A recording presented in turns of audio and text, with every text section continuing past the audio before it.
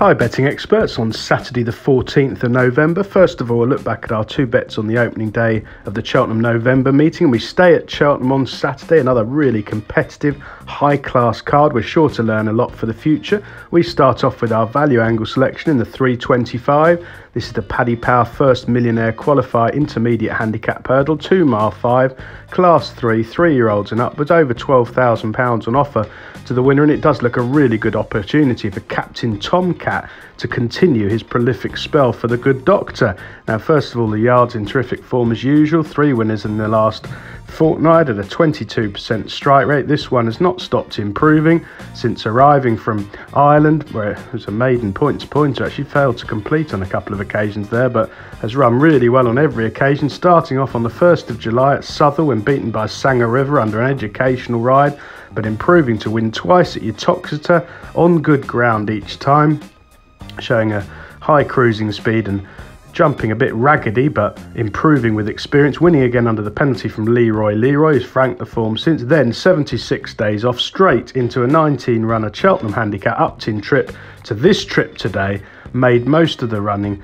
Um, taken on for the lead and showing a terrific attitude to keep pulling clear. Basically, he's a very sound stayer. The ground could be a bit softer here, but with his pointing background, that shouldn't be too much of an issue. And to be honest, unless they get an absolute deluge at Cheltenham, um, it rarely gets too bad here. Um, remains to be seen about the weather, but uh, he's a progressive young hurdler with more to come. He has gone up in the weights. He won on that handicap debut there off 121. He's six pounds higher now, which I think is on the lenient side. He's just the sort of horse that thrives on more racing for the good doctor, and I think he'll take a lot of beating here. It's a competitive Cheltenham race, but he is the one who's going forwards. For our nap of the day, we go to the 215. This is the Paddy Power Gold Cup Handicap Chase, 2 mile 4, Grade 3, Class 1, 4 year olds and upwards. A staggering £74,000 on offer to the winner. Predictably, it's attracted a really high quality um, field of young chasers on the up, but the one I much prefer is Harry Whittington's Simply the Betts. Now, this progressive seven year old comes from a yard going particularly well. He places his horses very carefully. Harry Whittington. He's sure to have this one primed as he did with Rouge Vif. Um, a very impressive winner last weekend, and this one's in the same Andrew Brooks colours.